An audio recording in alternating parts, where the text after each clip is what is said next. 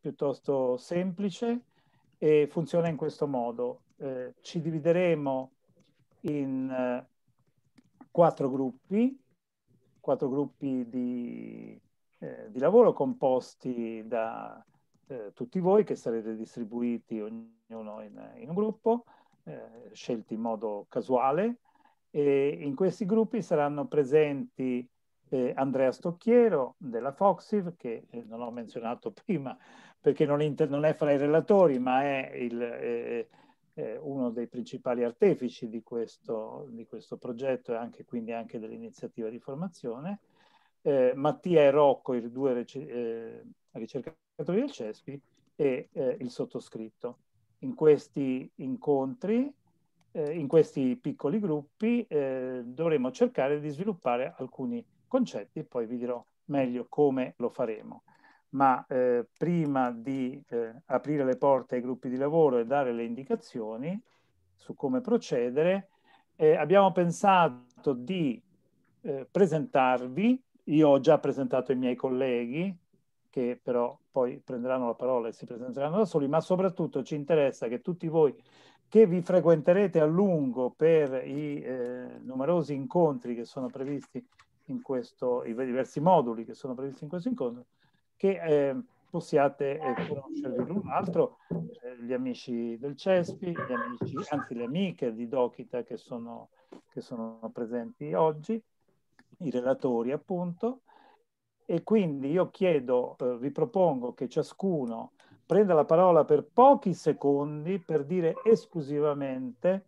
il proprio nome e cognome, il paese da cui proviene, il comune in cui vive e lavora, due comuni se vive in un comune e si, si sposta per lavorare in un altro, e da quanto tempo, da quanti anni la persona si trova in Italia. Nient'altro, perché poi tutti i vostri, le vostre speranze, i vostri punti di vista, le vostre esperienze, eccetera, avrete modo di svilupparle nel corso, eh, nel corso dell'incontro.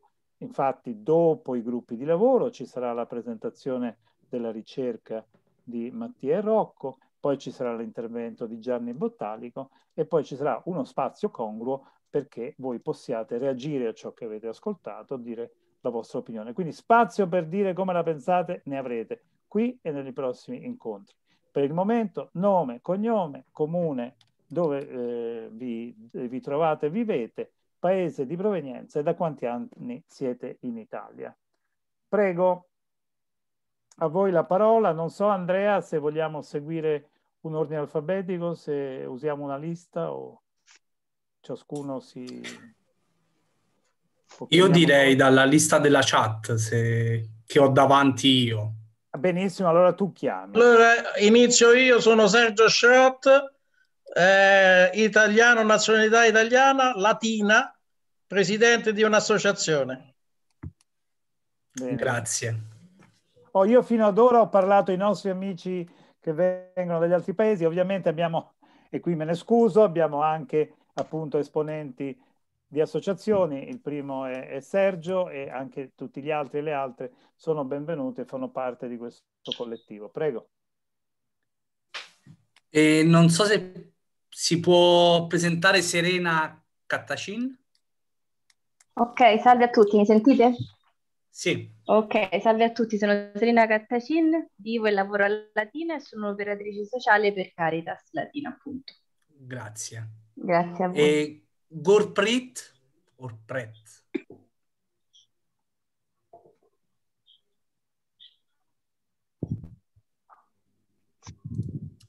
C'è? Si sente l'audio.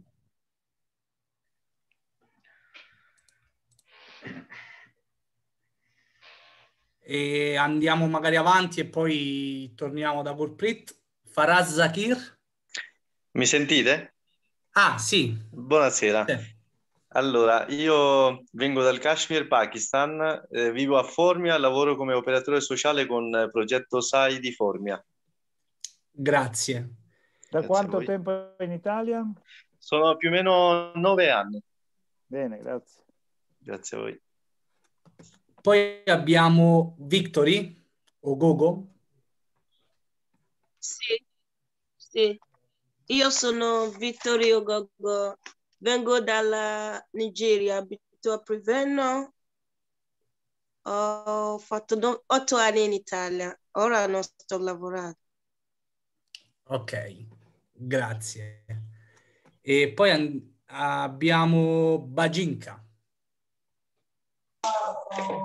Sì, io mi chiamo Lamin Baginka, vengo dal Senegal, sono qui da tre anni e mezzo.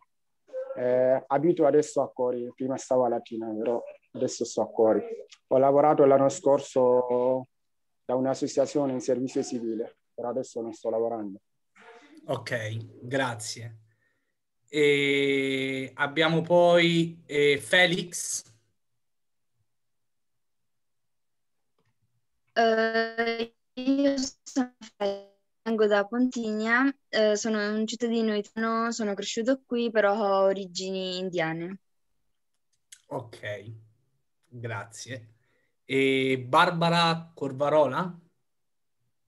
Sì, ciao, Latina, originaria di Genova, ma da 25 anni vivo a Latina. Da- ehm, 58 anni, ehm, attualmente sto frequentando un corso da OSCE e lavoravo nel settore dell'immigrazione.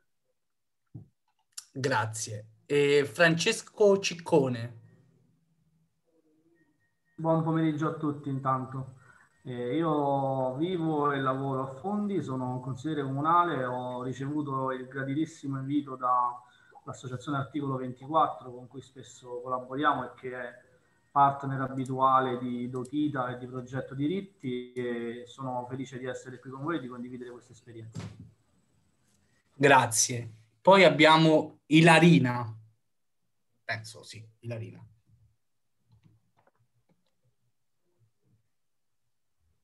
Mi sentite? Mi faccio... Sì, Eh, scusate, ma c'è una connessione un po'... Provo a mettere il video anche dopo, eh, un attimo. ok. Allora, io sono della Caritas di Latina, sono la responsabile del, del centro di ascolto ehm, diocesano. E Ivana? Buonasera a tutti, io sono Ivana Tibaldi, sono un'insegnante di italiano per stranieri e lavoro nel progetto SAI di Formia. Grazie. E Janet?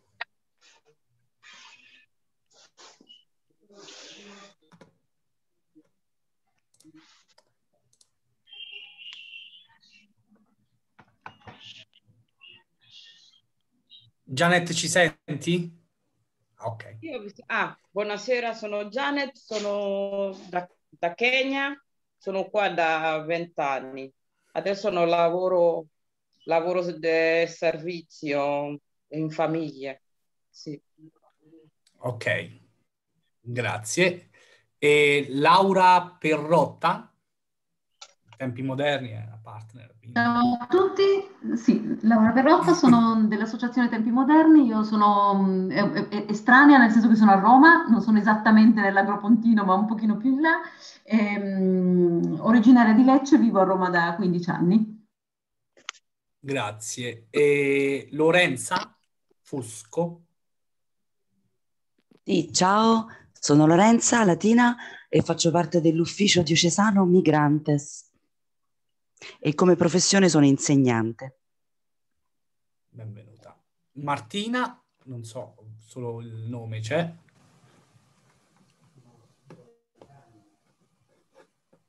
Sì, eccomi, eh, non, non metto il video perché la connessione mi salta in continuazione. Ehm, allora, sì, io vissuto, sono nata e cresciuta a Latina, ci ho vissuto fino a qualche mese fa, eh, da gennaio vivo e lavoro a Roma, eh, faccio parte dell'associazione Zai Saman, ho lavorato come insegnante e come operatrice sociale. Grazie. E Nirab?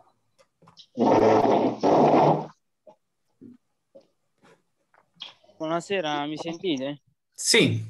Mi chiamo Nirab SM, ho 22 anni e vengo dal Bangladesh, sono bengalese e abito a Terracina, provincia di Latina. Ok. Da quanti anni sei in Italia? In Italia sono più di 15 anni che sono in Italia.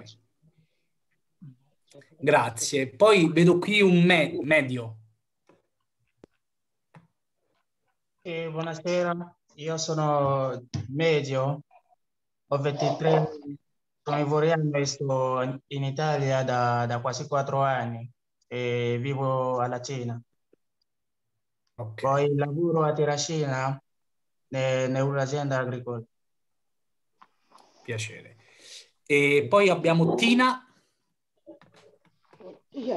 Sì, buonasera, eh, sono Tina Di Fazio, io abito a Fondi, sono un'insegnante e appartengo a Fondi Vera, lo stesso movimento politico a cui appartiene Francesco, il consigliere comunale che ha parlato prima. Grazie. Poi c'è Tony Victory.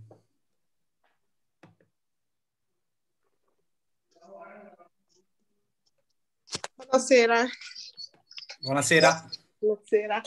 Ehm, mi chiamo Tony Victory, abito a Sesse Scalo e sono studente di CPA Latina.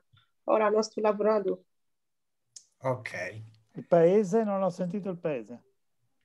Nigeria. scusami. Se- Sono nigeriano. Forse la connessione un po' Eh, che un va e po', sì, viene. Vabbè, tanto comunque torniamo anche su Victory, se non sbaglio. Poi abbiamo Paolo De Arcangelis, di articolo 24, immagino. Sì, ciao a tutti. Eh, non apro il video perché ho grossi problemi di connessione, mi scuso con voi. Comunque sì, sono Paolo di Arcangelis, sono un avvocato e sono il presidente dell'associazione Articolo 24. Un saluto a tutti. Salve. Poi ho iPhone, che immagino sia il cellulare. e, e- sì, prego, iPhone.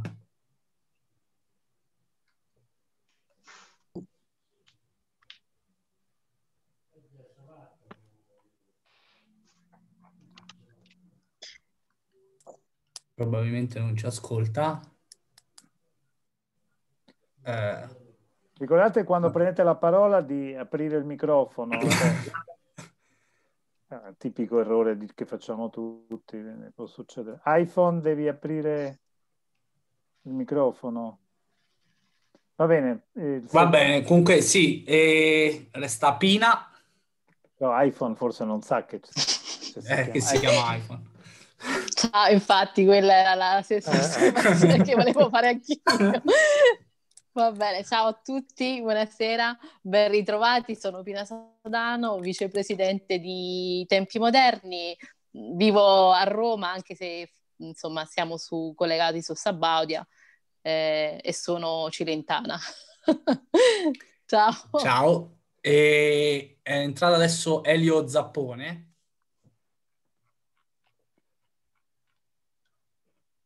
Non so se è con noi o è con noi ma non è con noi. E non so se mi sono dimenticato, ho dimenticato qualcuno, qualcuna, e perché la chat poi si muove spesso, quindi sono andato... Non so Gurpret se adesso ha ripristinato un po'. la- Eccomi. Sì. Ciao, sono Gurpreet, sono mediatore di Caritas Latina, abito a Latina, dieci anni che sto in Italia. E da Beh. che paese vieni? Sono dall'India, sono indiano. Ok. Benissimo. Ok, e penso che ci siamo presentati tutti e Beh, no, tutte. tu ti sei presentato, Rocco, Andrea, Cecilia. E infatti volevo arrivare a voi. Allora, quindi andrei con Andrea. Prego, Andrea. Ciao, sono Andrea e lavoro anch'io al CESPI come ricercatore. Sono veneto ed è da vent'anni che sono venuto ad abitare a Roma. Rocco, prego. Ciao, sono Rocco, ricercatore del CESPI, sono di Foggia e da dieci anni sono qui a Roma. E Dario, tu ti sei presentato, però Beh, vabbè, mi insomma, avete visto. L'unica cosa che non ho detto è che sono nato a Milano e da quando avevo sei anni sono nato a Roma, ma da ormai quasi 30 anni mi sono trasferito a Cerveteri, che è patria etrusca noto che praticamente nessuno è nato in un posto per rimanerci, anche chi è di Latina si è dato subito da fare per andare a Roma e chi è di Roma per andare a Latina, quindi siamo in un bel, eh, una bella famiglia di gente in movimento, come sarebbe anche se prendessimo a caso delle persone per strada ormai. È, è la nostra forma mentis e, e forma vivendi. E... Cecilia, prego. Cecilia, sì. Cecilia che invece è di Terracina, lì c'è rimasta per sempre. Non so se mi aveva detto che si doveva assentare per qualche ah, minuto, però... E... Eccomi, mi metto in okay. orizzontale così mi si vede meglio. Ciao a tutti, eh, bentrovati, sono molto contenta dell'avvio di questo corso di formazione. Io sono in allegra compagnia delle mie figlie, quindi disattiverò prestissimo l'audio. Eh, faccio parte anch'io del progetto Get Up e vivo a Terracina, e, mm, però sono della provincia di Monza e Brianza, quindi arrivo dalla Lombardia, i miei genitori invece sono pugliesi, quindi sì, insomma un giro migratorio anche all'interno della mia famiglia. Buon incontro e buon corso a tutti. Scusa, cara Cecilia, semplicemente perché io sono barese, vivo a Seregno, quindi tu sai dove. Ah. e quindi abbiamo Perfetto. in comune. E avevo un compagno di classe al liceo che era proprio, si chiamava Calò. Quindi Hai visto? Ma... Però origini salentine, non um, baresi. Eh, vedi. Bene, Gianni eh, lo diamo per presentato allora. Sì, origine salentina anch'io perché ho da una parte salentina, da parte barese, vivo a Milano da tanti anni e, e, ho vissuto anche un po' a Roma, quindi ho fatto un po' di tutto. Nessuno, ecco, nessuno è, come hai visto, neanche, neanche Cecilia è della sua terra, quindi fondamentalmente ha le origini dall'altra parte, quindi ci siamo quindi tutti. nessuno di noi, nessuno, se, se, se ci dicessero tornatene a casa tua, nessuno saprebbe esattamente dove deve andare. Oh. No, ognuno ha la sua casa, ma insomma ne abbiamo passate tante. Bene, a questo punto io credo che sia tempo di aprire i gruppi di lavoro e direi... Ehm... C'è Elio forse che si vuole presentare. Ah, chiedo Quindi dai, eccomi, scusate un po' in ritardo. Io sono Elio Zappone, e sono un avvocato immigrazionista e gestisco uno sportello legale qui a Terracina, soprattutto per migranti, ma anche insomma in generale per persone che vivono situazioni di marginalità sociale, con difficoltà insomma di vario genere. E mm, collaboro anche con la Caritas eh, di Latina, con la quale insomma gestisco uno sportello legale, anche lì insomma sulla falsariga di quello di Terracina, eh, dedicato ai migranti, a persone che hanno difficoltà insomma di vario genere e mm, collaboro con l'avvocato di Arcangelis, Francesco Paolo di Arcangelis. Benissimo, ecco grazie. A questo punto... Dario, non so se vuoi ripetere un attimo le regole di questi gruppi di lavoro. No, no, devo è... darle ancora le regole. Le regole sono le seguenti. Allora, adesso ci divideremo in stanze. Zoom ci permette di dividerci in, in gruppi, ognuno dei quali funziona come un piccolo Zoom di questo è Maestro Rocco, che, eh, Rocco Pezzillo, che adesso ci eh, smisterà. Direi per lo smistamento di utilizzare l'ordine che ha seguito eh, Mattia per dare la parola. E, L'ordine sarà causa, casuale. Casuale, va bene, quindi lo gestite tu e Mattia. Funzionerà così. Ogni gruppo, in ogni gruppo ci sarà una persona del progetto, ci saranno Rocco, Mattia, Andrea e il sottoscritto, e eh, si chiederà ai partecipanti, ciascun partecipante, di illustrare i, i tre aspetti fondamentali sintetizzati in pochissime parole delle, eh, per ciascuna delle tre dimensioni chiave individuate eh, dal, eh, dal, progetto, individuate in questo corso e che sono la dimensione sociale, la dimensione ambientale e la dimensione economica del, dei problemi legati allo sviluppo sostenibile e all'integrazione. Quindi in questi diversi ambiti quali sono per ciascuno di noi i tre problemi fondamentali, principali che ci separano da un pieno sviluppo sostenibile e da una piena integrazione e inclusione sociale. Poi, questi, eh, una volta che ognuno avrà dato all'interno del gruppo i suoi tre punti, cercheremo di, eh, di eh, tirar fuori per ogni gruppo so un solo concetto chiave per ciascuna delle dimensioni. Quindi ognuno ne butta dentro tre, le discutiamo tutte all'interno del gruppo e alla fine emergerà, speriamo, un problema chiave per ciascuna delle tre dimensioni. Questo lavoro di sintesi per ragioni di tempo e, e non certo di prevaricazione eh, lo porteremo avanti noi eh, eh, capigruppo, diciamo, Rocco, Mattia, Io purtroppo io non riesco a entrare nel... E, e attendi, scusa un secondo Rocco, poi vediamo, così concludo questo. Poi rientriamo appunto in plenaria, tiriamo fuori i eh, problemi che sono emersi in ciascun, ciascun gruppo e poi ascolteremo da Rocco e Mattia quali risposte invece si sono avute nello eh, sviluppo della, eh, nel corso della ricerca che loro hanno svolto e che avevo presentato inizialmente, rivolgendosi eh, fondamentalmente a eh, immigrati che lavorano nel territorio dell'Agropontino e, e, e giovani studenti.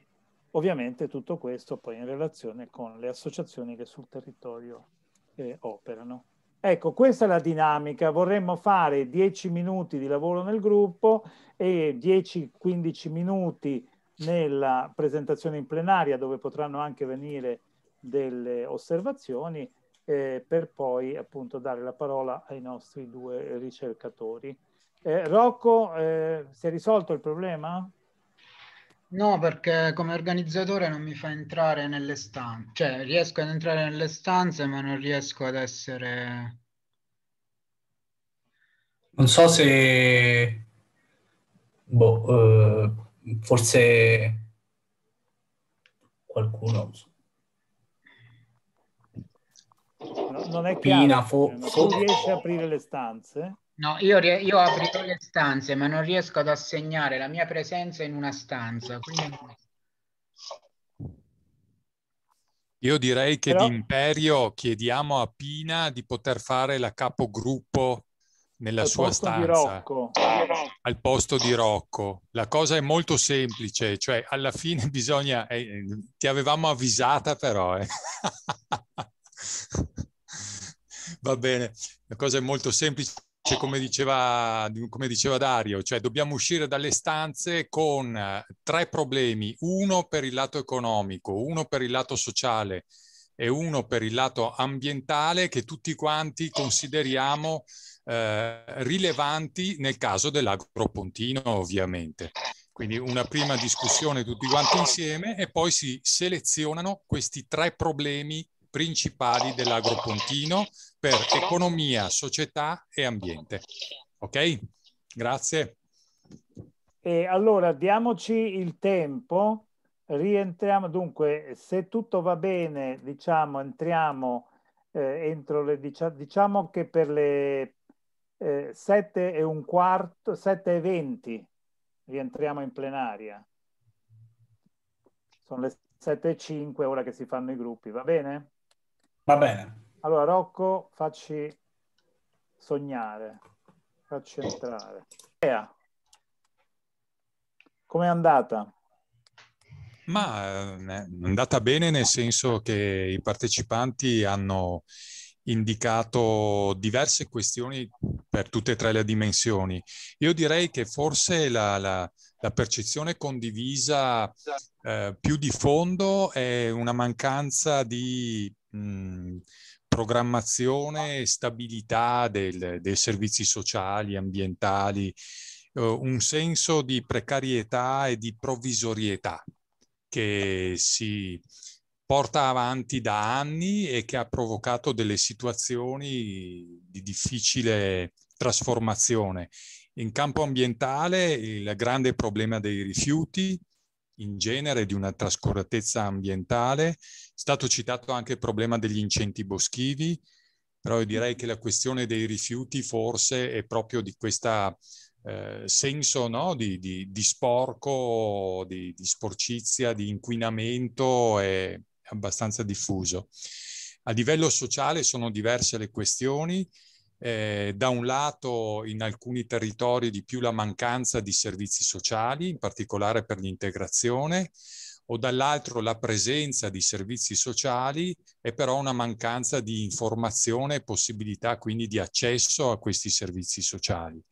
E poi alcune mancanze specifiche come l'assenza di mediatori culturali, la non presenza di una consulta per le comunità straniere, problemi di accesso quindi alla sanità, per esempio. No? E infine dal punto di vista invece dell'economia, eh, direi due questioni di fondo, quella della, di una disoccupazione in crescita e dall'altra anche di una precarietà lavorativa e di salari bassi. Io mi, ero, mi sono segnate queste come le principali. Benissimo, grazie Andrea. E Mattia. Sì, eh, allora, la nostra discussione eh, si è incentrata soprattutto sulla questione lavorativa e lo sfruttamento lavorativo, soprattutto nel, nel settore agricolo. In realtà i tre temi, eh, i tre diciamo, sì, temi che sono usciti fuori sono tutti collegati insomma a questo nucleo centrale che è appunto il lavoro in agricoltura.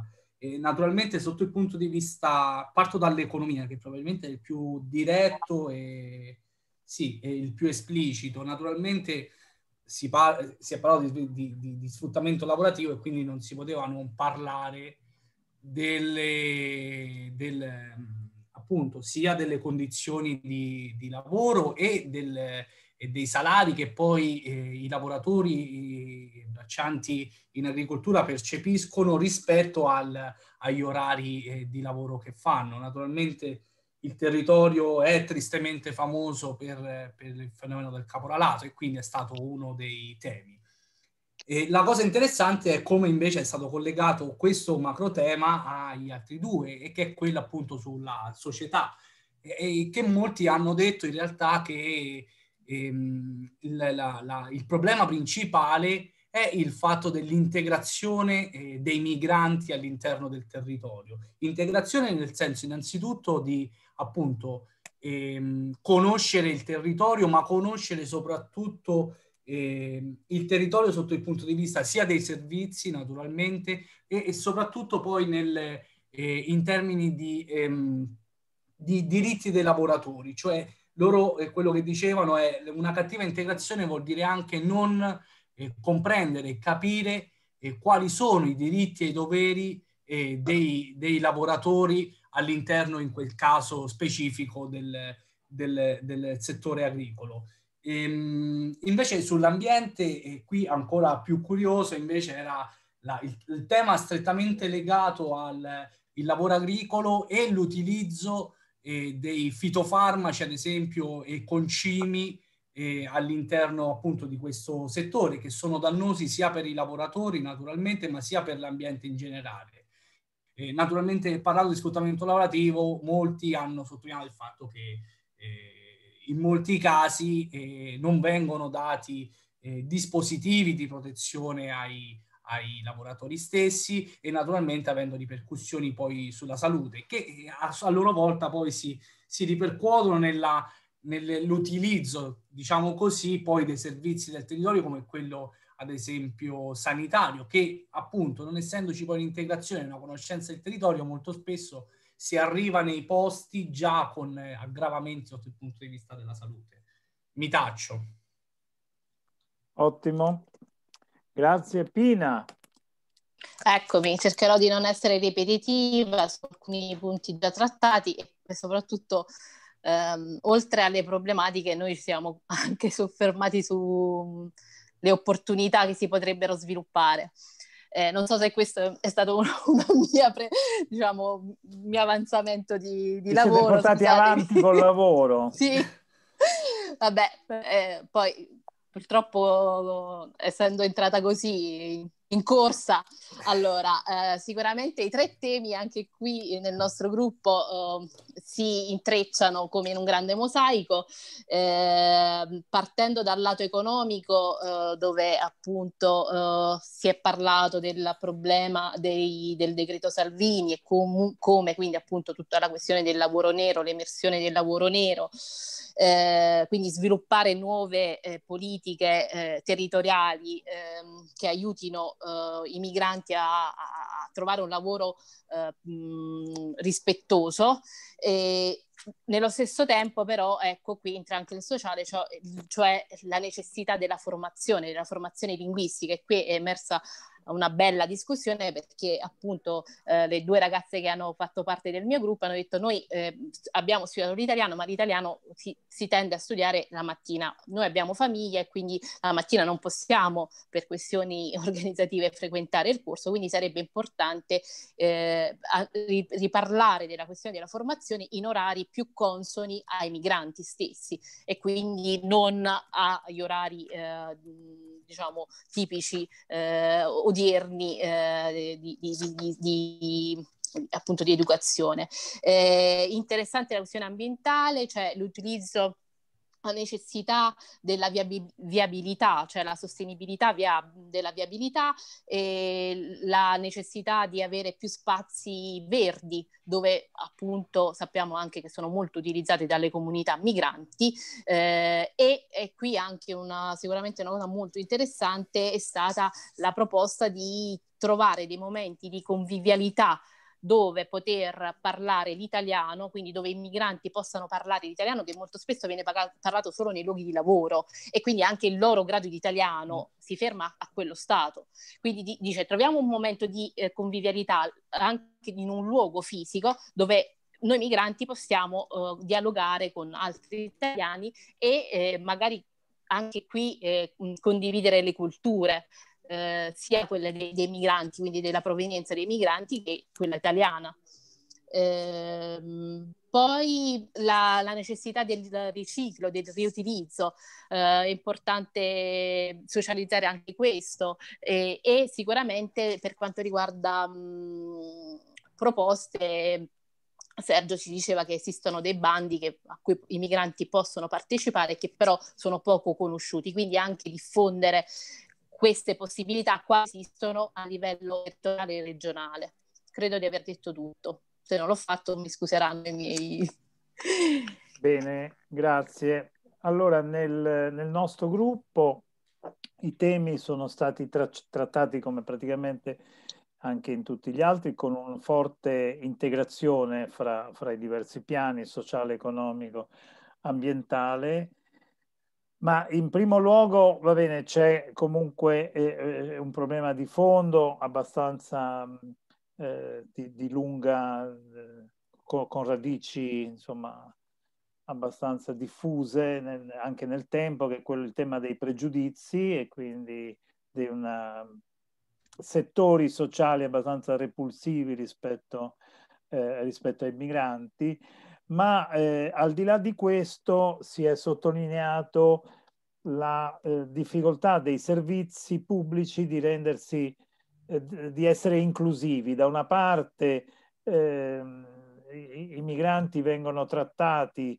eh, separatamente per quanto riguarda i loro problemi rispetto alla popolazione in generale, ma dall'altra parte eh, e, e, questo non dovrebbe essere perché dovrebbero essere comunque eh, considerati alla stregua del resto della popolazione nelle possibilità di accesso e anche di eh, utilizzo dei servizi, dall'altra eh, sembra mancare una capacità di dialogo dei servizi pubblici verso, verso gli stranieri e quindi eh, gli stranieri da una parte si trovano con dei percorsi ad hoc, eh, dall'altra parte questi percorsi in realtà diventano separatezza e eh, non permettono loro comunque di accedere in modo efficace ai servizi universali, per così dire, dove peraltro appunto gli operatori non sono, non sono preparati.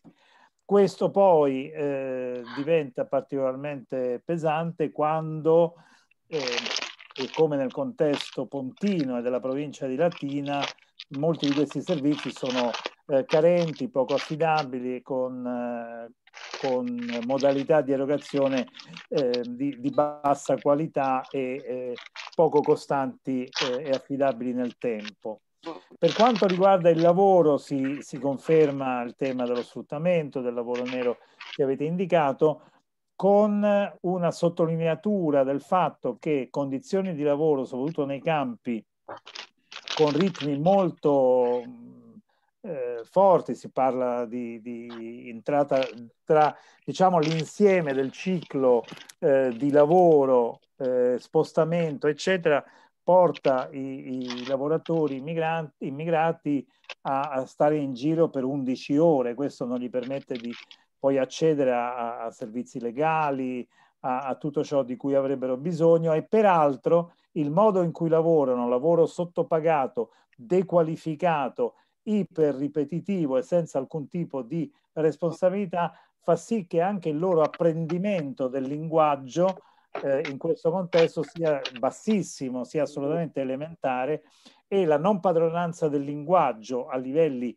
appena sufficienti è a sua volta una causa della difficoltà di integrazione una volta usciti dal, dall'attività eh, di lavoro.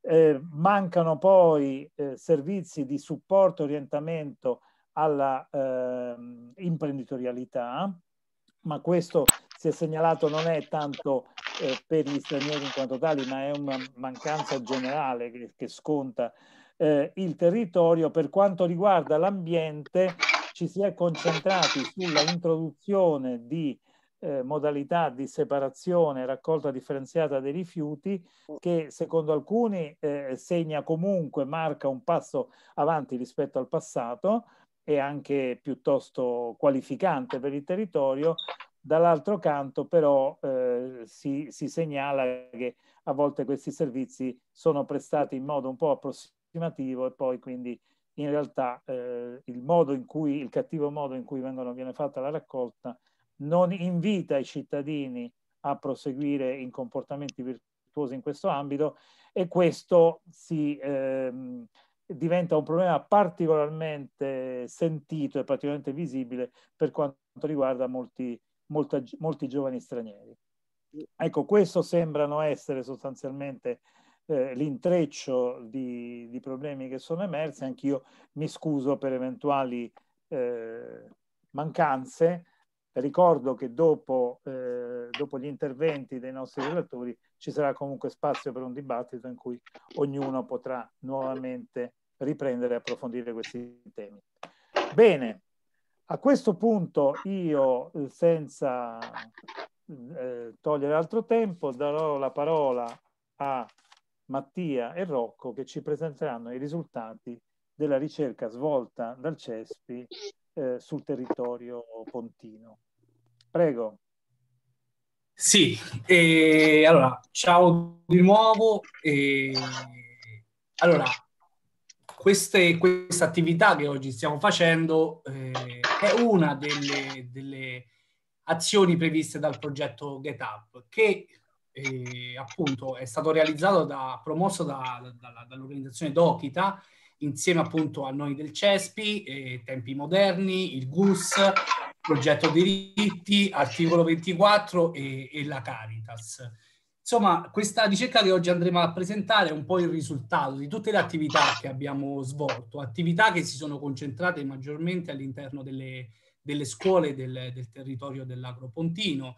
Abbiamo preso, abbiamo partecipato a una serie di incontri all'interno di dieci scuole diverse di cinque città del territorio, Terracina, Sabaudia, Fondi, Formia e Terracina e nel quale abbiamo cercato di un po' di eh, capire dagli, dagli studenti eh, sia la loro conoscenza eh, in termini appunto di sviluppo sostenibile, il tema che oggi stiamo anche affrontando, e, e anche poi però rispetto al, al, territorio, questo sviluppo sostenibile che cade un po' dall'alto, dalle Nazioni Unite addirittura, e poi insomma veniamo qui che dal globo lo riportiamo all'interno di un territorio molto piccolo rispetto appunto alla dimensione della Terra del territorio pontino.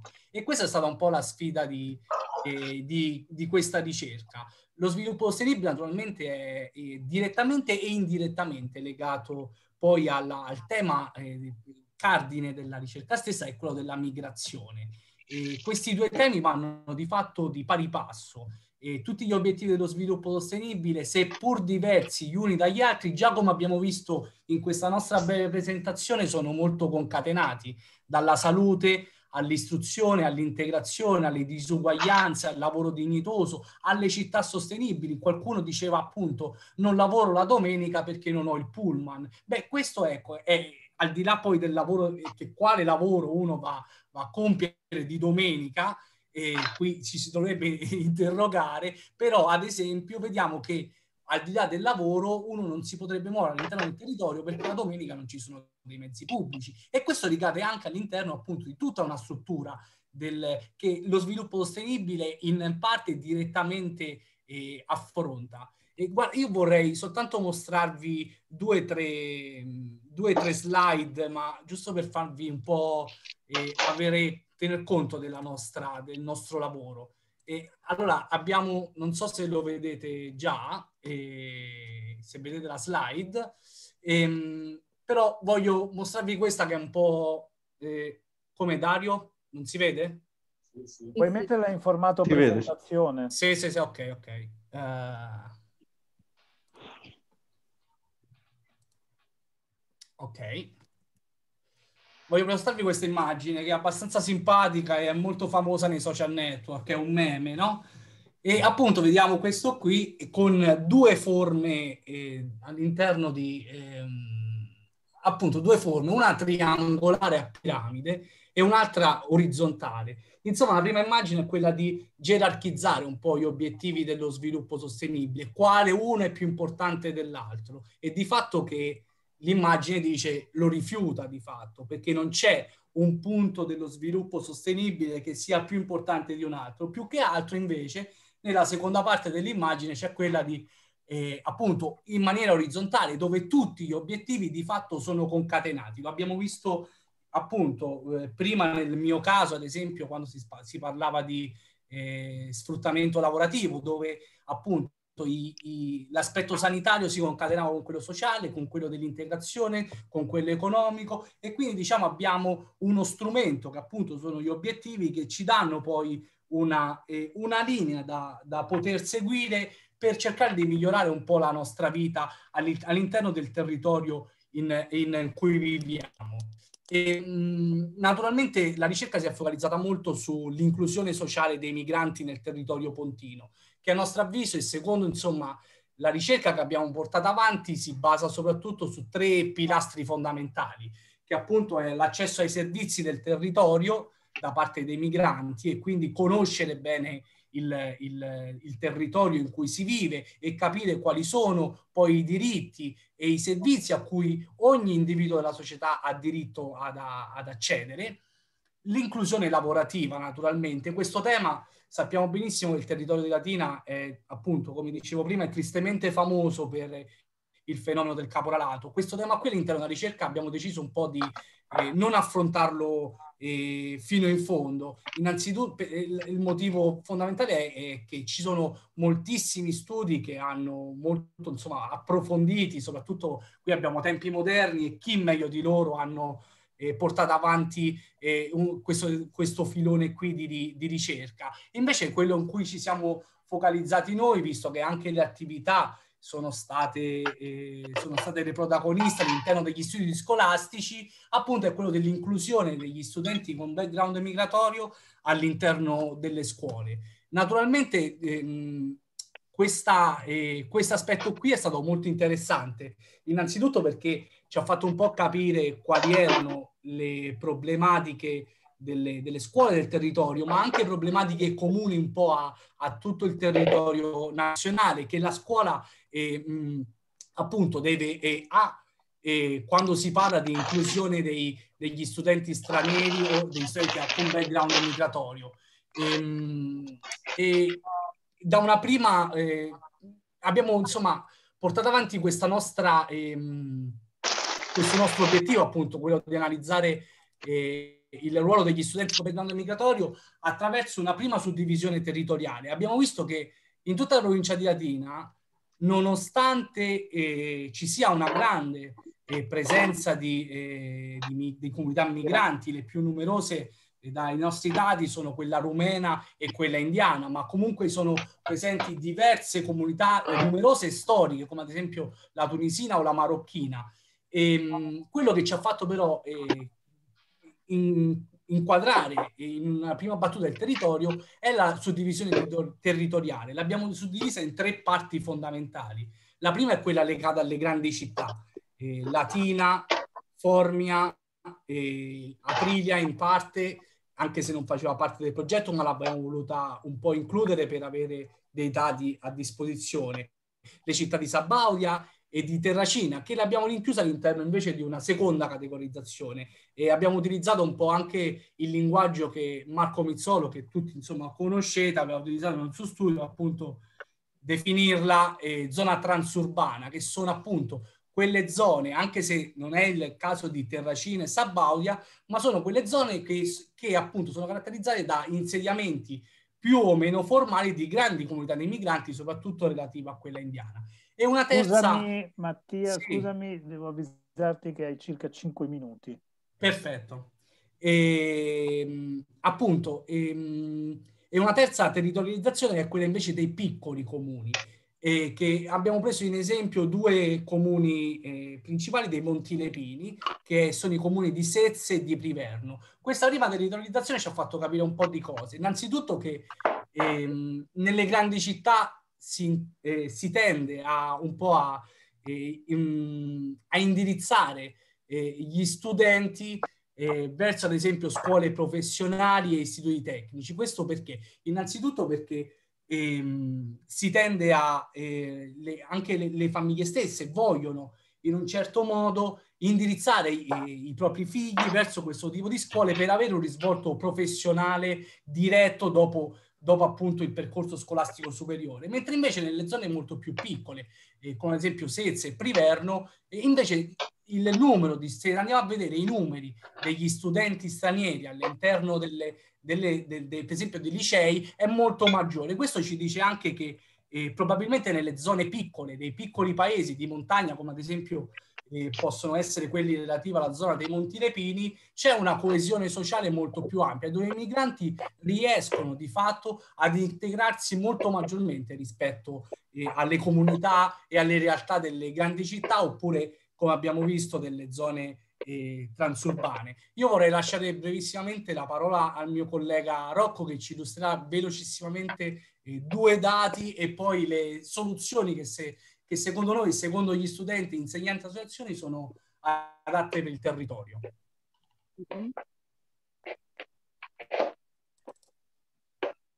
Salve. Rocco, se riesci a presentare la tua parte in tre minuti, vinci, entri nel Guinness dei primati e completiamo la giornata con i ritmi previsti.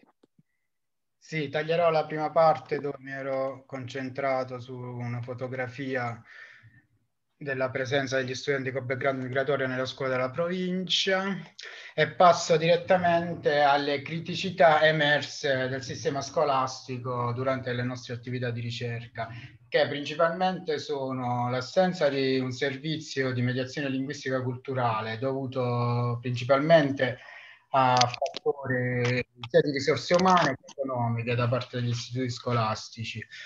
Uh, la, il mediatore culturale eh, è una figura fondamentale anche nel coinvolgimento delle famiglie de, degli studenti con background migratorio. Eh, a tal proposito, eh, per colmare questo ostacolo linguistico, eh, durante un focus group con eh, gli studenti di una scuola di fondi, eh, c'è stato dato un suggerimento molto interessante che è quello di predisporre degli strumenti da parte della scuola eh, multilinguistici come per esempio il registro elettronico multilingue eh, proprio per eh, dare la possibilità ai, ai genitori di seguire il percorso scolastico dei propri figli. Un'altra criticità emersa è quella de, dei corsi di potenziamento linguistico dell'italiano L2, che spesso non sono affidati a docenti con una formazione specifica, ma questo ruolo viene ricoperto da insegnanti di altre discipline già presenti nel, nell'organico dell'istituto scolastico. Eh, bene o male queste sono le tre grandi criticità emerse, oltre, oltre a quello che il, la figura eh, del responsabile dell'inclusione delle scuole spesso tende a sottovalutare i bisogni degli studenti con background migratorio e a concentrare gli interventi con, uh, altri di, uh, uh, su altri tipi di bisogni educativi mentre l'indagine che abbiamo svolto nel, nelle dieci scuole coinvolte dal progetto eh, hanno, hanno, cercato di far emergere le percezioni eh, degli studenti con eh, il proprio territorio, con la scuola e con il fenomeno migratorio in generale. Riporterò per mancanza di tempo soltanto alcuni dati un po' più particolarmente significativi. Quando abbiamo chiesto agli studenti qual è l'ostacolo principale per un'inclusione scolastica de, degli studenti con background migratorio, la risposta, è stata da, è stata, la risposta principale è stata quella che tendono ad isolarsi. Però è interessante riflettere su questa questione per, perché spesso non sono, cioè perché non sono i ragazzi con background migratorio ad isolarsi, ma è la, è la scuola stessa che non, che non, mette in pratica, non, che, eh, la scuola stessa che non riesce ad avere gli strumenti adeguati eh, per una piena inclusione di questi studenti. Eh, questa risposta è significativa nel, nel, nel, presente grafico che mostro. Quando abbiamo chiesto invece, secondo te gli studenti italiani tendono ad isolare o a mostrare diffidenza nei confronti degli studenti con background migratorio, la risposta nell'80% è stata, è stata sì. Quindi siamo noi, sono gli studenti in generale che non e la scuola che non mette in, condiz- che non mette in condizioni per un adeguato processo di inclusione. Sal- e Rocco, sì? siamo in chiusura.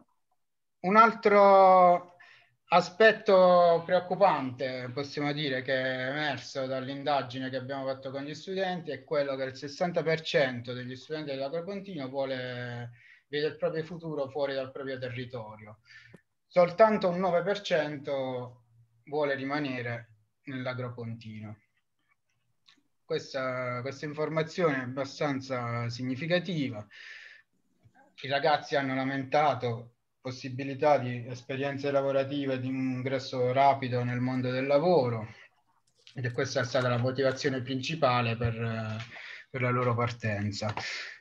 In conclusione, voglio mostrare un manifesto per una scuola sostenibile nel Trentino che abbiamo costruito eh, tramite diversi confronti che abbiamo avuto con, sia con, gli studenti, con eh, eh, rappresentanti della società civile e con eh, gli insegnanti.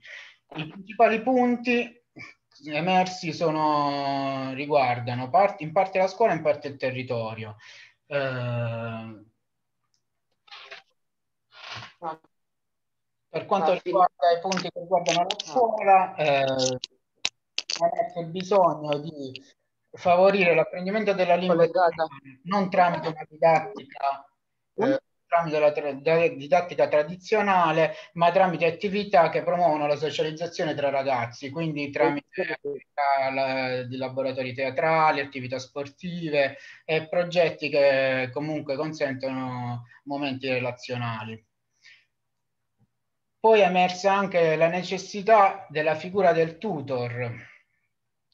La figura del tutor è una figura che è in grado di accompagnare l'inserimento a scuola degli studenti neoarrivati e può essere o uno studente stesso della scuola di seconda generazione del paese, dello stesso paese di origine o un'alternativa anche a una figura esterna. Con questo mi taccio eh, per mancanza di tempo e passo la parola a Dario. Eh, grazie Rocco. Oh, questa presentazione come i materiali che verranno presentati in tutti i moduli sono ovviamente messi a disposizione dei partecipanti che li riceveranno nelle forme che poi verranno comunicate dagli, dagli organizzatori. A questo... Un'ultima cosa, chiediamo anche ai partecipanti di aiutarci ad arricchire questo manifesto. Alla fine, con le vostre proposte, riusciremo ad arricchirlo. Vai Dario. Benissimo, allora a questo punto eh, abbiamo, diamo la parola a, al terzo relatore, a Gianni Bottalico che ho già presentato, già presidente delle ACLI che sono una eh, grande associazione eh, di promozione sociale, eh, la, anzi sono la rete delle associazioni cristiane dei lavoratori italiani, attualmente eh, è responsabile delle relazioni con le regioni e con i comuni dell'Associazione Italiana per lo Sviluppo Sostenibile, ASVIS, e ci permetterà dal suo punto di vista, dalla sua eh, attività di lavoro e di impegno sociale, di avere una visione più ampia su scala eh, eh, ultra provinciale, cioè al di là della provincia di Latina e l'Agropontino, una dimensione regionale e nazionale dei problemi di cui ci stiamo occupando. Il tempo che ci siamo, eh, che abbiamo concordato è di circa un quarto d'ora in modo tale che negli ultimi minuti possiamo dare spazio a interventi e considerazioni dei partecipanti. Prego Gianni. Grazie Dario, grazie a voi. Andrea, eh, se ci sei, io sapevo che partecipando a questo incontro sarei stato qui ad ascoltare e imparare, non sicuramente a dire delle cose, perché eh, ho ascoltato con molto interesse questo, questo sforzo, questa lettura, eh, questo prendere coscienza eh, dei problemi perché eh, io non ho presentato slide per una questione di tempo e vi rimando, rimando tutte le amiche e gli amici collegati al nostro portale asvis.it dove potete trovare tante informazioni e c'è anche le cose, alcuni passaggi che farò questa, in questo momento anche rispetto al rapporto, cioè alla fotografia che facciamo noi tutti gli anni rispetto all'Italia, rispetto alle regioni, come abbiamo fatto ultimamente, li trovate anche nella lingua inglese eventualmente, quindi questo magari per qualcuno può essere più, uh, più, più comodo. Dicevo, la rappresentazione, cioè la fotografia che eh, ci avete oggi presentato è la fotografia assolutamente di un paese non sostenibile, perché le cose che abbiamo ascoltato, i problemi, le difficoltà, le fatiche eh, di carattere economico, eh, di carattere sociale e di carattere ambientale sono la fotografia di questo paese, dell'Italia. La fotografia di un paese che nonostante abbia fatto una scelta forte rispetto alla, all'Agenda 2030 e quindi ha sposato, ha accettato, ha condiviso i 17 goal, si è impegnata a raggiungere e a far, a, a, ad adempiere al raggiungimento di quegli obiettivi, ebbene questo paese, l'Italia, non è in questo momento sulla strada della sostenibilità, ossia significa che questo paese, l'Italia, per gran parte dei suoi goal nel 2030 non li avrà raggiunti. Non li avrà raggiunti perché eh, la, le sfide, e sono quelle che voi avete elencato oggi, sono sfide assolutamente in questo momento di grande affanno e grande difficoltà. Tenete conto che purtroppo questo avviene non soltanto in Italia, eh? è avvenuto in Europa, avviene nel mondo, sia anche la famosa crisi pandemica, la crisi che tutti i paesi, tutto il pianeta sta soffrendo rispetto al problema Covid, ecco, questa, questo, uh, questa situazione ha creato e sta creando problemi enormi in tutto il pianeta. Li crea anche l'Europa e li sta creando anche l'Italia. E purtroppo, vedete, una delle ricette, una comunque delle chiavi delle, dell'Agenda 2030 dice guardate che noi dobbiamo costruire un mondo che sia pronto sempre a queste eventualità e abbia gli anticorpi, abbia il sistema, abbia il modo di attutire queste situazioni di grande difficoltà. Voi sentirete parlare spesso del termine resilienza, l'ho, l'ho, detto in questa, quindi è tanto è vero che anche voi sentite, leggete sui giornali, piano nazionale di, eh, di riforma e di resilienza. Cioè il fatto che comunque una delle, delle, grandi, delle grandi lezioni che l'Agenda 2030, al di là del raggiungimento degli obiettivi, è quello che ci dice che dobbiamo rendere questo paese resiliente.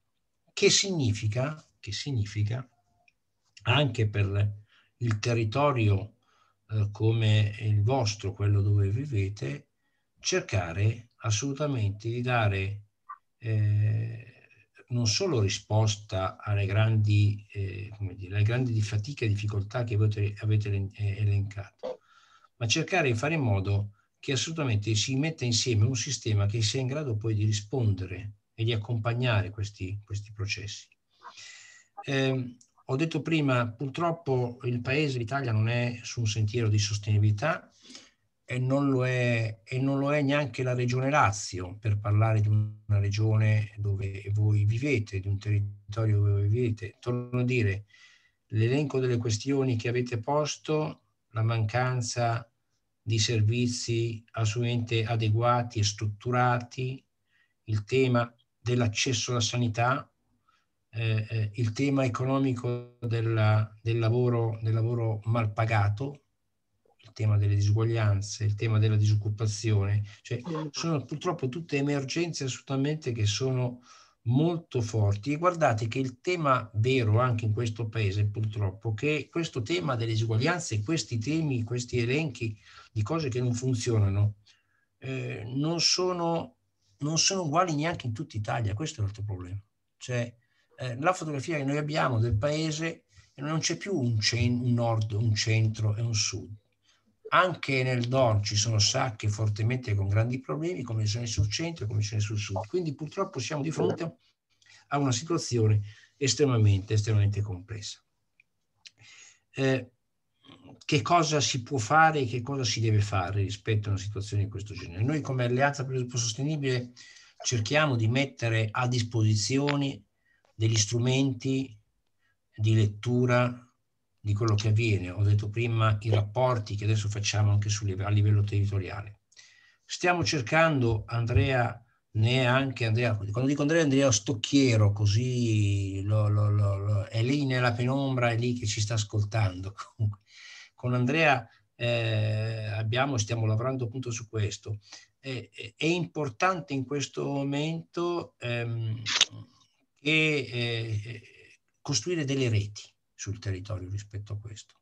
La, lo studio che è stato fatto a parte vostra, questo eh, elenco, eh, ma io ho detto prima, consapevolezza dei problemi, è un fattore già importante. Eh, abbiamo bisogno in questo momento e noi come ASVI stiamo cercando di accompagnare un po' i territori proprio perché queste situazioni, eh, queste, queste gravi queste gravi problematiche oggi presenti sul territorio e all'interno dei territori anche in maniera diversificata eh, hanno bisogno di alcune, di alcune, risposte e hanno bisogno di essere accompagnati. Guardate, eh, la, mh, ogni regione eh, deve costruire, sta, deve scrivere la propria strategia di sviluppo sostenibile. Dire strategia di sviluppo sostenibile per una regione vuol dire dare risposta a quei problemi che voi avete poc'anzi denunciato, dare soluzioni a quei problemi che poc'anzi avete, avete denunciato,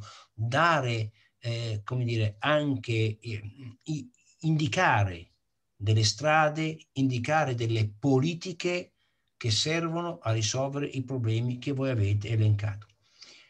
Tutte le regioni, ve lo dico perché eh, è importante secondo me questo, tutte le regioni devono assolutamente scrivere le loro strategie regionali, che significa guardare ai problemi del suo territorio, analizzare quali sono i problemi e dare e dichiarare come, quando e perché darà risposte a quei problemi.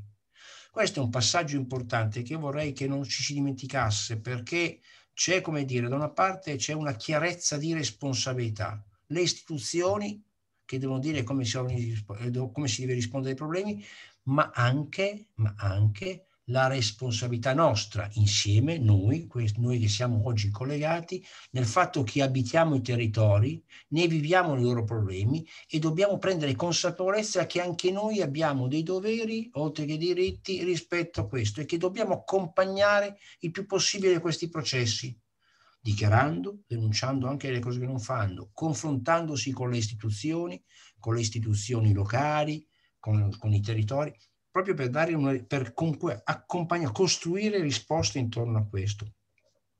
Quindi, come dire, eh, eh, io eh, sono molto positivo rispetto a questo, rispetto a quanto potessi esserlo qualche tempo fa, perché, come dire, abbiamo oggi tutti quanti degli strumenti da mettere in campo, dobbiamo solamente assumerli, tutti quanti. Ecco perché è importante, ho sentito che ci sono anche rappresentanti di associazioni, eh, mi rivolgo particolarmente anche a loro, a tutte le, le organizzazioni sul territorio, abbiamo bisogno di costruire reti intorno a questo. Noi stiamo cercando di promuovere sui territori mm, come dire, delle reti che prendono cura, si prendono a cuore il tema della sostenibilità e accompagnano questo processo della sostenibilità stiamo cercando di promuovere sul territorio reti di associazioni, di soggetti che dove ciascuno per le proprie peculiarità, per le proprie missioni, per il proprio agire, ecco, si mettono insieme per cercare di dare una risposta da una parte, ma anche assumere consapevolezza rispetto a questo. È un grande, una grande occasione che abbiamo. Abbiamo una grande occasione politica di far valere le nostre idee, di far valere i nostri progetti. Certo, lo dobbiamo fare avendo cura e, avendo anche consapevolezza che non siamo più a qualche anno fa il tema del lavoro non può più essere visto soltanto in una certa maniera. Il lavoro oggi ha una dimensione che avete detto voi economica, deve essere ben pagato, deve essere assolutamente remunerato, deve esserci il lavoro per tutti, un lavoro giusto.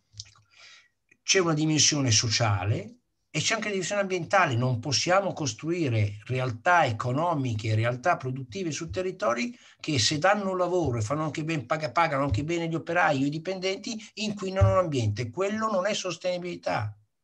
Non è sostenibilità. Quindi abbiamo bisogno di accompagnare questi temi, questi problemi in maniera come l'agenda ci insegna. E quindi anche il nostro agire, parlo io dalle ACLI, io il tema del lavoro non posso più guardarlo con gli occhi del, di ieri, devo guardarlo con questa consapevolezza che ha un impatto ambientale, che ha un, deve avere un impatto economico ambientale e sociale, che devono stare insieme.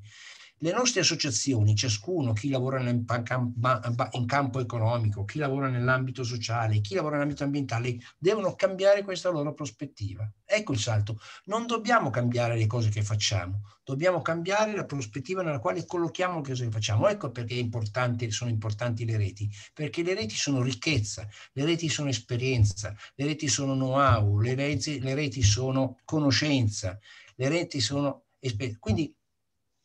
Mi permetto e, e, chiudo semplicemente perché, torno a dire, non ho nulla da insegnare, ho soltanto da apprendere da quello che avete fatto voi, però vorrei proprio lasciarvi, eh, volevo che ci lasciassimo con questo messaggio di sfida, ma anche positiva. Eh, e torno a dire, ricito Andrea perché su questo ci ha creduto, ci sta credendo, ci sta lavorando moltissimo. Non a caso credo che abbia messo anche questo incontro proprio per queste ragioni. Ecco, abbiamo bisogno di fare questo, di fare questo percorso assolutamente insieme, quello di assumere questa, questa consapevolezza. Queste sfide, questi temi non, non li possiamo affrontare insieme, ma con questo nuovo approccio. Quindi da una parte eh, la civile, i, i cosiddetti corpi intermedi, gli stakeholder, quelli che si chiamano oggi e dall'altra le istituzioni. Dobbiamo incominciare a, a interloquire, noi avendo chiaro la nostra progettualità, interloquire con le istituzioni che credo, speriamo che abbiano anche la loro progettualità o comunque abbiano le loro scelte. Chiudo in un, una nota positiva. I soldi che stanno arrivando dall'Europa devono servire per fare queste cose, se no sono soldi sprecati. E anche qui la nostra battaglia insieme come ASMI, insieme a tutte le nostre associazioni. Un modello, non bastano soltanto le idee di cosa fare, ma bisogna sapere anche il modello di come le facciamo e come governiamo questi processi. Quindi i territori saranno importanti.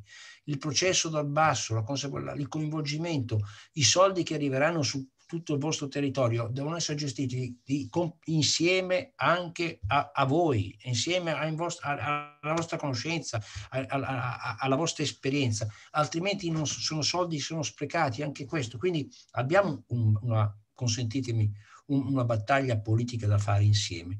Le amiche e gli amici che arrivano da altri paesi, non dall'Italia, sono con noi e devono essere con noi i protagonisti di questo percorso, perché anche qui l'agenda 2030 ha, questa, ha questa, anche questa ambizione assolutamente, quello di tenere assolutamente insieme, di tenere insieme tutto questo mondo e soprattutto di tenerlo il più unito possibile. Quindi mi permetto semplicemente di lanciarvi questo, questo messaggio di lavoro comune eh, e anche di disponibilità come Alleanza per il Sviluppo Sostenibile. Eh, noi sono nati sui territori delle, delle, realtà, si sono chiamate in Toscana Toscana 2030, in Liguria Liguria 2030, eh, si sono dati, ci sono eh, a Pisa, è nata Pisa 2030, sta nascendo ad Arezzo, quindi diciamo che non ci sono, delle, dire, non ci sono dei confini precisi. Ci sono però, come mi pare di, di capire da quello che mi avete detto, dei territori molto omogenei come il vostro che vive alcuni problemi che per esempio potrebbe prendere a cuore questo aspetto. Quindi penso agli amici e amici della Caritas, penso agli amici della, della, della, di Agenda 24, giro, credo non aver detto sbagliato, e, e di altri soggetti che prima si sono presentati e tante altre che secondo me c'è un grande lavoro comune da fare su quel, su quel territorio. Quindi eh, mi lancio questo, questo, appello a farlo e una disponibilità totale da parte dell'Alleanza del Sviluppo Sostenibile a darvi una mano per quello che possiamo e sappiamo fare. Mille grazie Gianni, ringraziamo eh, questo intervento che ci porta all'esperienza e la disponibilità dell'Alleanza Italiana per lo Sviluppo Sostenibile come strumento anche per monitorare e promuovere il raggiungimento degli obiettivi di sviluppo eh, sostenibile dell'Agenda 2030. Abbiamo circa otto minuti per interventi, considerazioni e tutto quello che ritenete opportuno fare e dire. E microfono aperto, a voi la parola.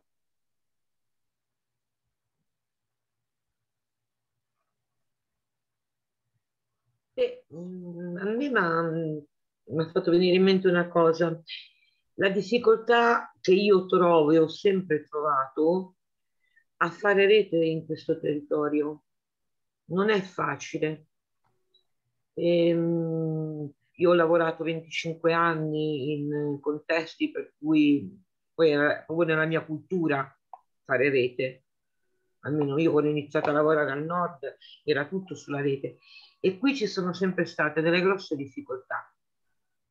Non lo so perché questa e un'altra cosa che mi veniva in mente era il vero che noi abbiamo questo purtroppo ahimè record negativo rispetto a imprese che non si comportano bene, che finiscono sui giornali di sfruttamento, però non si è mai pensato a valorizzare, che ne so, come fanno da altre parti, premiare, coinvolgere, soprattutto coinvolgere aziende che io conosco e che conoscono anche altri, che invece sono di esempio. Noi abbiamo anche delle, delle buone aziende nell'applicazione dei contratti eh, per l'agricoltura, insomma, che, ecco, questo è un aspetto che mm, anche qui si tende sempre, quel poco di rete che c'è, c'è molto distacco fra eh, imprenditoria da una parte e il sociale, fra virgolette, dall'altra.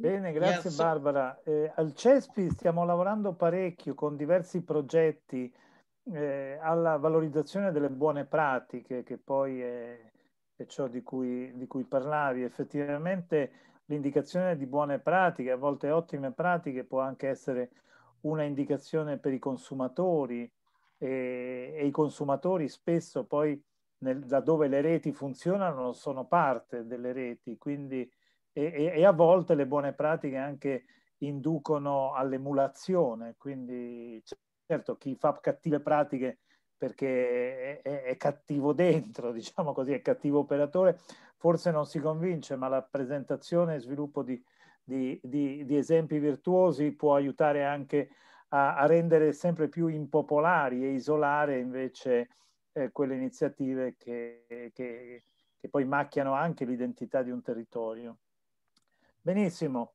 Altri, altre considerazioni?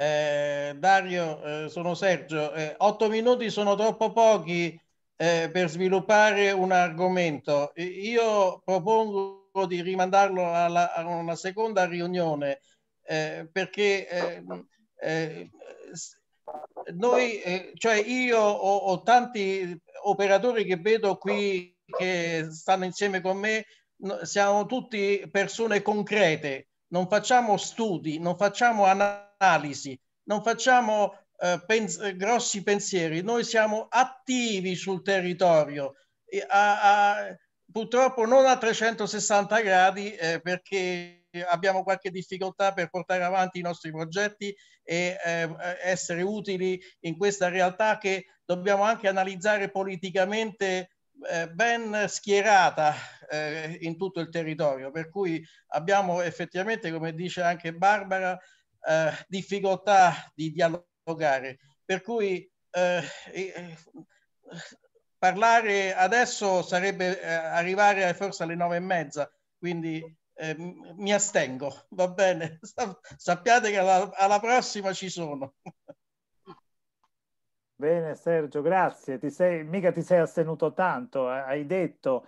E allora ci hai ricordato e ogni tanto noi ricercatori ci troviamo di fronte a chi ci ricorda con, con orgoglio, giustamente, per chi lo fa, che ci sono anche le persone del fare sul territorio e, e non solo quelle dell'osservare e ricercare. Tuttavia, quello che dicevi sul fatto che chi lavora tutti i giorni sul territorio, nei campi, nello sviluppo, eh, spesso non ha poi un approccio a 360 gradi, ecco, chi fa ricerca cerca, tenta di mettere insieme queste esperienze per poi rilanciarle a tutti con una visione di 360 gradi che si fa attraverso le fette di realtà che ognuno di voi, che ognuno di voi tratta e porta. Scusa, vorrei... E... Dario, posso Prego, però, Gianni. perché Sergio Prego. ha ragione, ma vorrei dire Sergio, eh, eh, guarda che la, la, partita che giocheremo nel prossimo futuro, non troppo lontano futuro, sarà una partita proprio su, sui tavoli anche su, su, su questo, eh? sul fatto che comunque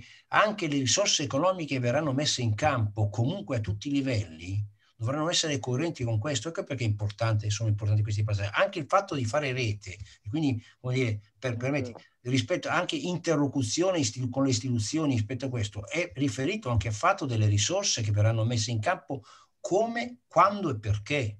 Ecco, vorrei che questo fosse chiaro, altrimenti diventa, fra qualche anno, le risorse economiche messe in pente dalle regioni anche rispetto alle associazioni saranno date sulla base di quanto saremo pronti noi a recepire, a lavorare e a operare coerentemente con questo. Eh. Vorrei che fosse chiaro che questa, cioè come l'Europa chiederà a Paese Italia di essere coerente con l'agenda 2030, dovranno essere coerenti anche a cascata le istituzioni nei nostri confronti. Quindi abbiamo un tema da affrontare. Hai ragione quando ci dobbiamo abbiamo un tema da affrontare come associazioni perché o ci rendiamo coerenti rispetto anche noi rispetto a questo, altrimenti veniamo tagliati fuori. E guardate, ve lo dico, rimaniamo tagliati fuori da tanti altri che magari nei nostri mondi non ci sono, che si stanno organizzando per dare risposte rispetto a questo, eh? di tutto il mondo del privato, Una del cosa, sociale. va bene? Tutto Vengo dopo. Vengo dopo. Bene, allora eh, siamo arrivati alla, alla chiusura di questo incontro. Quanto diceva Sergio eh, ha ovviamente ragione, in otto minuti non, non- non decolla il pensiero, insomma, non, non- decolla e soprattutto non si articola eh, come è giusto che, che faccia. Eh, comunque avete davanti non otto minuti, ma 14 ore di eh, altri incontri in cui si parlerà di protezione dalla discriminazione e dallo sfruttamento, di comunicazione sul tema eh, delle migrazioni e del lavoro dei cittadini migranti, che quello conta molto per creare inclusione. E, e come si fa l'inclusione sociale nell'agropontino, l'associazionismo nel territorio, che è il problema che poneva poi Barbara, no? perché va bene, tu puoi fare un'associazione, ma poi se le associazioni non si associano fra loro e non fanno rete, non si va molto lontano. La partecipazione e una valutazione di tutto il percorso eh, formativo senza dimenticare il tema dei delle rimesse e della gestione delle risorse finanziarie. Quindi tutti i temi trasversali a ciò che ci siamo detti, altri temi ancora e spazi per tirar fuori quello che la vostra esperienza concreta sul territorio e nel lavoro eh, eh, vi suggerisce e vi induce a condividere con gli altri, ci saranno. Quindi a questo punto io ringrazio tutte e tutti. Se i miei colleghi o chiunque di voi non, ha, eh, non intende aggiungere altro, eh, chiudiamo qui e nei prossimi giorni sarete messi in condizione di accedere a tutti i- alla presentazione eh, che oggi è stata molto, molto sintetica eh, della ricerca del CESFI e complessivamente i materiali che verranno utilizzati in questi incontri. Grazie di nuovo, buonasera, buona cena. Buonasera. Buon lavoro a tutti, in bocca al lupo. Buonasera a tutti. Buonasera. Ciao. Grazie. Ciao. Arrivederci. Grazie. Buonasera a tutti, grazie ancora. Grazie, ciao. Ciao.